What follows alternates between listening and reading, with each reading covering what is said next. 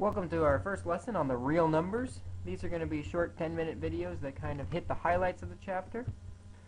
This section is meant to review the real numbers.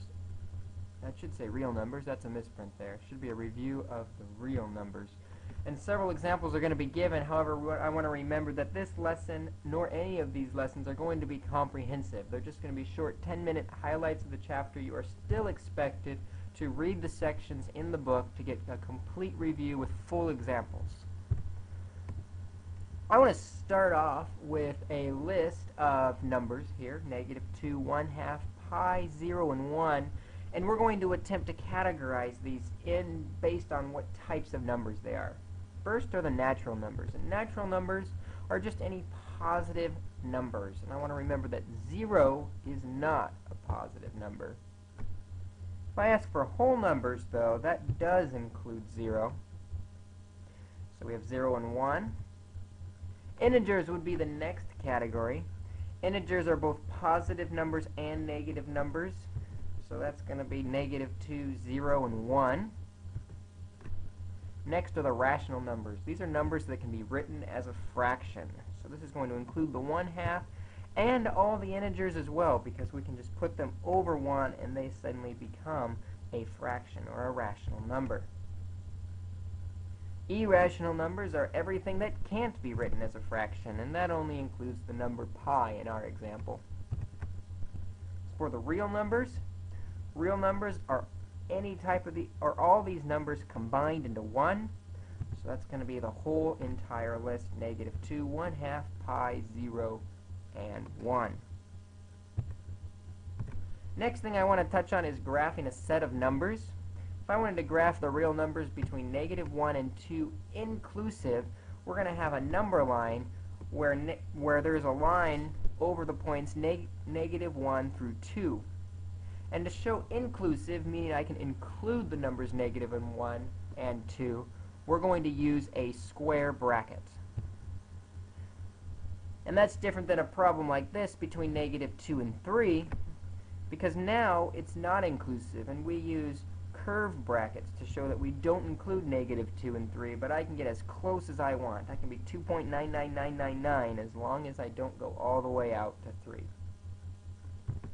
The last thing I want to touch on is problems like this, integers between 0 and 4. Now, integers do not include fractions. So instead, we're going to have just points, and it's not inclusive, so just between 0 and 4, we're going to have points at 1, 2, and 3. Interval notation.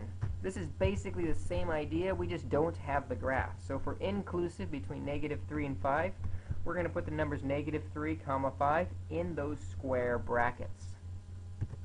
Similarly, between 4 and 9, since it's not inclusive, we're going to use curved brackets. If I want to be less than or equal to 3, now there's no minimum value. I can get as small as I want to get, and so we use negative infinity to represent that. We use a square bracket next to the 3 because I can be equal to the 3. If I wanted to be strictly less than, it would be a curved bracket. Operations on fractions. This is going to be a quick review on the operations of fractions. You are going to be expected to know how to deal with fractions without the aid of a calculator. You know, you might remember that to add fractions we need a common denominator. Inspecting the denominators 3 and 7, you'll notice the common denominator is 21. So we multiply 3 by 7 and 7 by 3. Doing the same thing to the top and bottom, now the problem reads 7 over 21 plus 12 over 21. And you remember with adding fractions, we add the numerators, keep that common denominator, and 19 over 21 is the final answer. Here we have a subtraction problem, works exactly the same as addition. We look at it and find a common denominator. This time, 10 works for a common denominator, so we only have to multiply the 1 half by 5 on the top and bottom, and that will give me 5 tenths minus 3 tenths. So we subtract the numerators, keep the denominator, and you end up with 2 tenths. Now you remember we can reduce that top and bottom are divisible by 2, and that gives us one-fifth. What about multiplication? First thing with all these problems is if you're dealing with fractions, you want all your numbers to be fractions. So we're going to rewrite that 6 as a fraction, 6 over 1.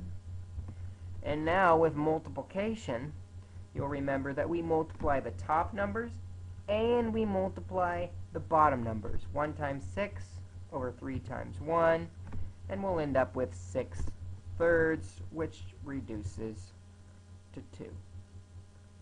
Division works exactly the same as multiplication with one extra step. With division, we are going to take this very last number, this one-third here, and we are going to flip it upside down. When it flips upside down, it becomes 3 over 1, and now it's a multiplication problem. We multiply straight across on the top and bottom, and we get 9 fourths. Something I want to notice on this problem is you might be inclined to reduce that to a mixed number. In algebra, generally, improper fractions are more convenient than mixed numbers. So we're going to keep it as an improper fraction. If we could reduce it as an improper fraction, we would, but nothing divides 9 and 4 evenly, so we will keep it as 9 fourths for the final answer in this class.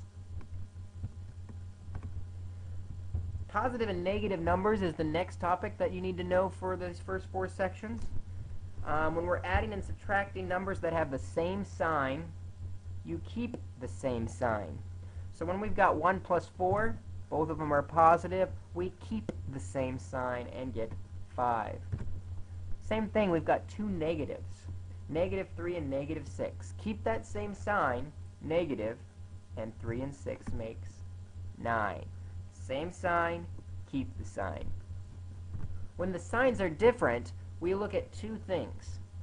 Ignore, ignoring the positive and negative bit, I ask which is bigger, the positive 9 or the negative 4?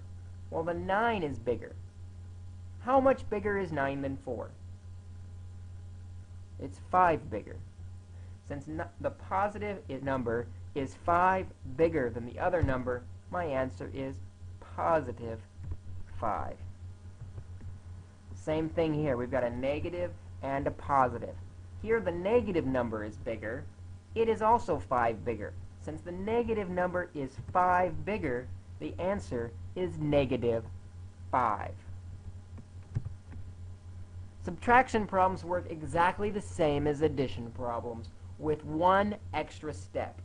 We look in the middle, where it's 1 minus negative 3. Look at that minus negative we're going to change that and add the opposite. The opposite of negative 3 is positive 3, and now the problem reads 1 plus 3, which we can easily solve to be 4. So with negative numbers, we add, when we're subtracting, I'm sorry, when we're subtracting, we add the opposite.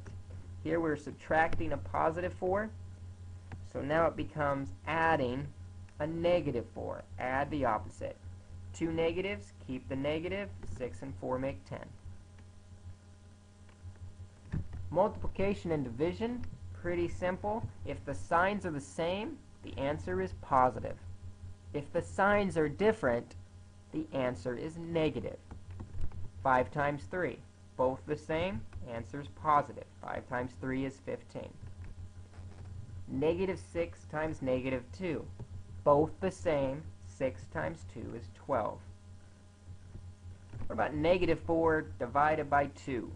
Now we've got a positive and a negative, so the answer is going to be negative. 4 divided by 2 is 2. Same thing in this problem. 15 divided by negative 5. Different signs, negative answer. 15 divided by 5 is 3. So this has been a very brief quick review over a lot of topics. Remember, it's not a detailed review. You are expected to read the sections in the book, read the examples in sections 1-1 through 1-4, and then work on the assignment on page 79, numbers 1 through 61 odd. And this homework assignment is going to be turned in, like all this week's homework assignments, on Tuesday, October 30th by 3 p.m.